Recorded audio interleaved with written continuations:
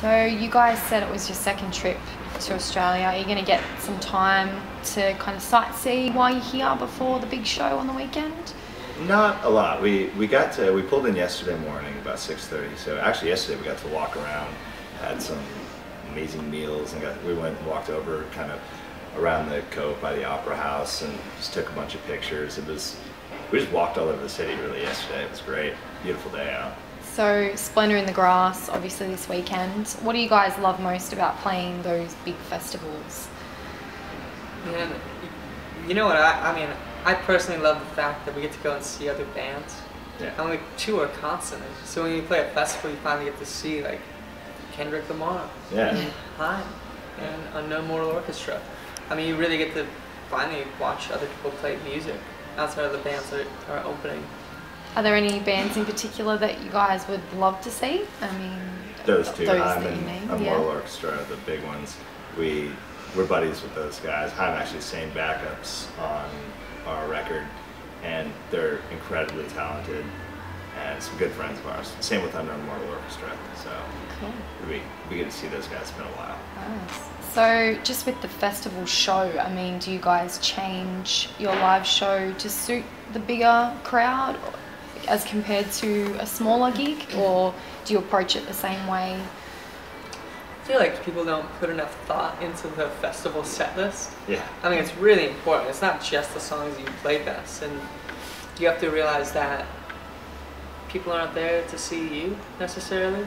They're there to see a lot of music and hang out with a lot of people. And for the most part, I think Tame Impala said it pretty well. Bunch of Tarzans, scoping babes. I think I read that somewhere. I mean, it's so on point. Oh, that's Back so home, like, it's a bunch of Tarzans looking for chicks. Um, that's kind of what it is. So you, you have to just recognize that, and I, I prefer playing covers and throwing in things that we like musically. yeah. Just more, have fun. Yeah, it's more about Party. the yeah the party. It's more about the party than it is about us or any of the bands that are there. And it's so amazing to be a part of that and see just how many people are there out in the mud, camping, dirty, that just love music. And that's that's what it's about. That being said, it's all about us. It's all, it's all about us. Do you My guys have any pre, you know, show routines that you guys stick to? Any superstitions before you go on stage? Do you, do you guys shotgun beers in Australia? Do you know what that is? Can you What do you explain? You take, you take a key, a knife, scissors, For your teeth. anything sharp, teeth, stab the beer, okay. pop it open, down it. Then you, I guess you just toss the beer and you walk on stage. Yeah. That's what It's. I mean, that's the thing that we've done multiple times before we've gone on. We don't really have any superstitions or like rituals. Probably done that the most.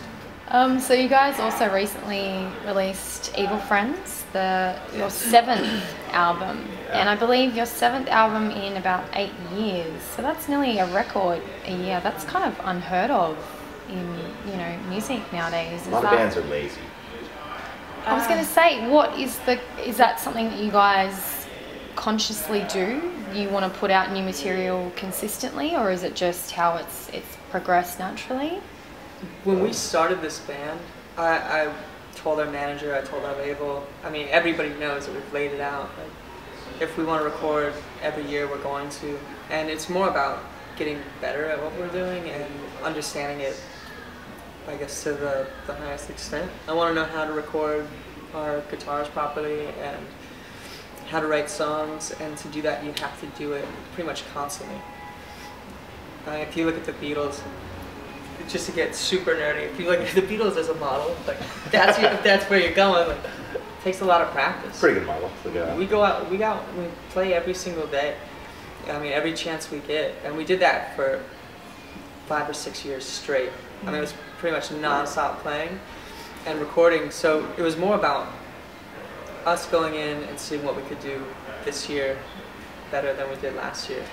So album number eight is that already in the pipeline? Since you guys like to roll them out pretty quickly. I mean, I mean, yeah, I've been talking about it, but the, the thing that I always try to keep in mind is just having enough space between recordings to actually have something new to say and something new to put out.